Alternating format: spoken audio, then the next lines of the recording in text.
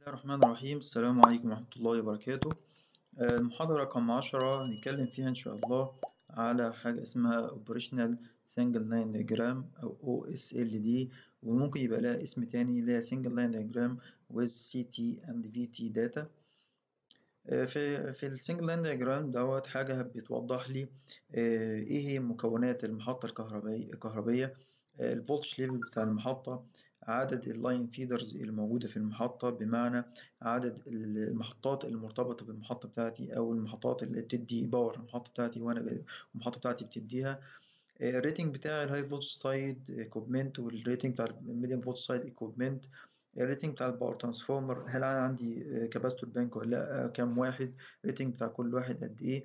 بتتكلم على أو توضح لي ال auxiliary transformer اللي موجود في المحطة كام واحد وال rating بتاعه قد إيه؟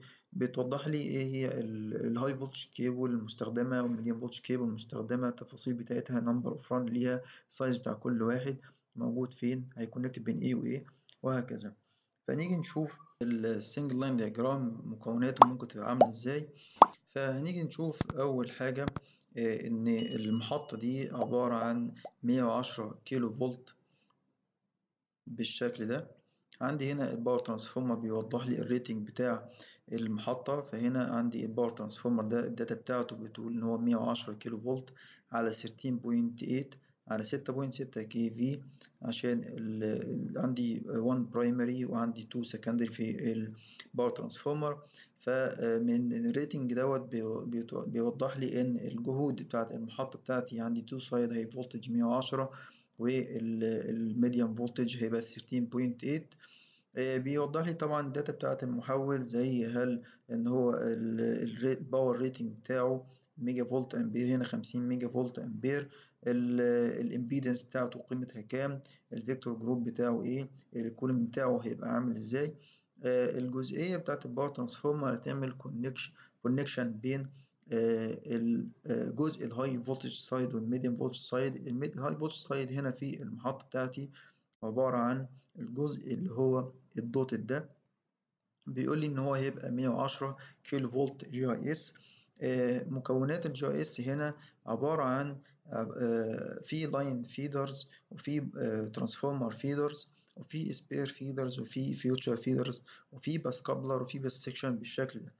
هنا عندي أول bay موجودة آه، بتبقى اسمها spare feeder ممكن طبعا يكون في spare feeder أو مفيش حسب ال requirement بتاعت المشروع. وعادة إن بيبقى يكون في ال spare feeder ال spare feeder ده موجود عشان لو في expansion required في المحطة في المستقبل. آه، فبكون عامل حساب bay موجود بالفعل آه، بالشكل ده.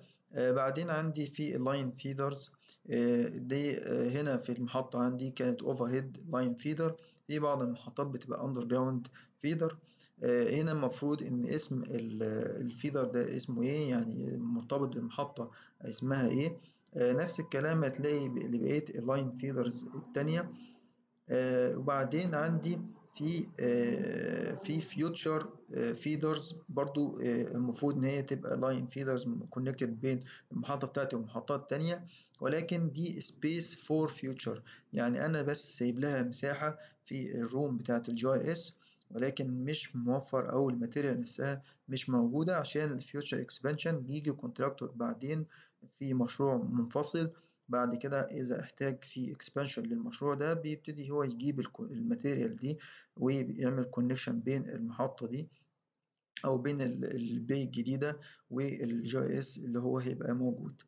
هنا آه، ال rating بتاع ال GIS هنا متكلم على إن ده double busbar ال rating بتاعه 110 كيلو فولت في عندي ال- الأمبير بتاعه 2000 أمبير ال short circuit بتاعه 40 كيلو أمبير لمدة واحد second ال ambient temperature بتاعة المحطة 55 درجة سيليزيوس بعدين هنا عندي آه، ال bay اللي اسمها transformer bay المفروض إن هي دي bay في ال GIS بتعمل connection بين ال GIS وبين ال power transformer آه، عندي كان bay هنا. طبعا ده يرجع برضو لل requirement بتاعة المشروع اللي هي تبقى موجودة في حاجة اسمها PTS اللي هي project technical specification هنا عندي أدي transformer واحد transformer اتنين transformer تلاتة. يعني معنى كده إن أنا عندي تلاتة transformer أو عندي تلاتة bay في ال GIS يعملوا connection مع ال transformer ال bay كل bay هنا بتبقى مكونة في حالة إن هو double busbar بالشكل دوت فال bay مكونة من تلاتة disconnector اتنين ناحية الباص عشان يعملوا connection مع كل باص. وبعدين عندي disconnector تاني ناحية طرف ال line عندي ال circuit breaker بتاع ال bay قيمته موجودة هنا 1600 أمبير. طبعا ده برضو بيرجع لل requirement بتاعت المشروع. بعدين عندي في حاجة اسمها current transformer. هنا number of core أربعة. طبعا ده برضو بيرجع لل requirement بتاعت المشروع. عندي هنا VT rating بتاعه بالشكل ده عندي هنا في earth switch وهكذا. نفس الكلام ده بيطبق على كل line عندي برضو هنا في حاجة اسمها bus و bus section في هنا ال bus section بالشكل ده اللي هو موجود في النص. ده بيربط بين two يعني في نفس الباص بيعمل connection بين two end من نفس الباص.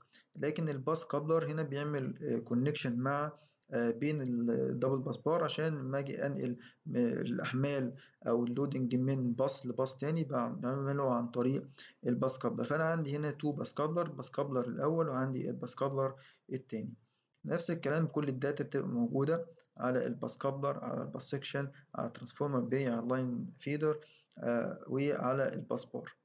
آه بعدين بين ال power transformer وال GIS في connection ممكن ال connection ده يكون عن طريق حاجتين يا إما كيبل بالشكل ده هنا عندي 110 كيلو فولت single كول core 400 ملم square XLPE cable per phase يعني أنا عندي كيبل واحد 110 single core 400 آه هيعمل connection بين ال GIS وبين ال power transformer آه هنا بيقول the minimum معنى كده إن أنا لازم أعمل verification design لل sizing بتاع الكيبل ده ممكن يكون الكيبل ده مناسب أو لا يرجع ده الكلام ده لحسب ال design ممكن ال connection بين ال power transformer وال GIS يكون عن طريق حاجة اسمها bus duct تبقى جزء من ال GIS بتبقى برضو isolated عن طريق ال gas insulator اللي هو SF6 فيبقى عندي طريقتين لل connection بين ال power transformer وال GIS يا إما عن طريق الكيبل أو عن طريق ال bus duct اللي هو بيبقى SF6 bus duct آه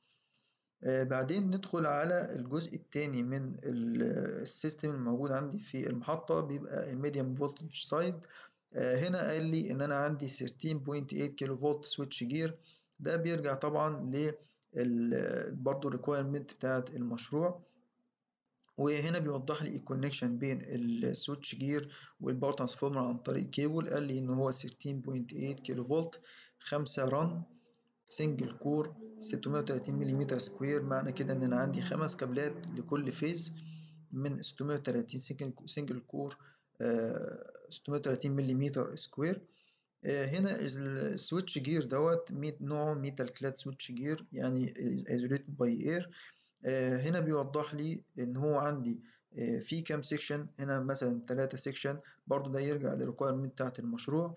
بما إن في 3 section يبقى في 3 incomer مرتبطين ب 3 power transformer بيبقى في باص اوت incomer في outgoing feeder وفي bus section وفي ال bay ده اسمه bus riser وفي ال panel اللي فيها ال VT بتبقى اسمها metering panel. بعدين في ال outgoing feeders المفروض إن هنا بيبقى كل feeder له مسمى أو له رقم ولكن ال connection هي مرتبط بمحطات أو مرتبط بال load اسمها إيه متبقاش معروفة ولكن بيبقى فيه الحاجات المعروفة فقط اللي هي داخل المحطة. فعندي هنا هنا عندي المحطة قال لي إن هيبقى فيها حاجة اسمها capacitor bank ال rated بتاعه 15 كيلو فولت فبيقول لي إن في capacitor bank ال data بتاعته تبقى بالشكل ده برضو ال data دي تبقى موجودة في ال protection في ال PTS بتاعة المشروع. هنا قال لي ال connection بين ال capacitor bank وال switchgear هتبقى عبارة عن كيبل 13.8 كيلو فولت single run single core 630 ملم square آه بعدين هنا بيبقى قايل لي برضو هعمل connection بين ال switchgear وبين حاجة اسمها auxiliary transformer بيبقى عندي في المحطة غالبا في اتنين auxiliary transformer واحد في ال section الأول وواحد في ال section الأخير.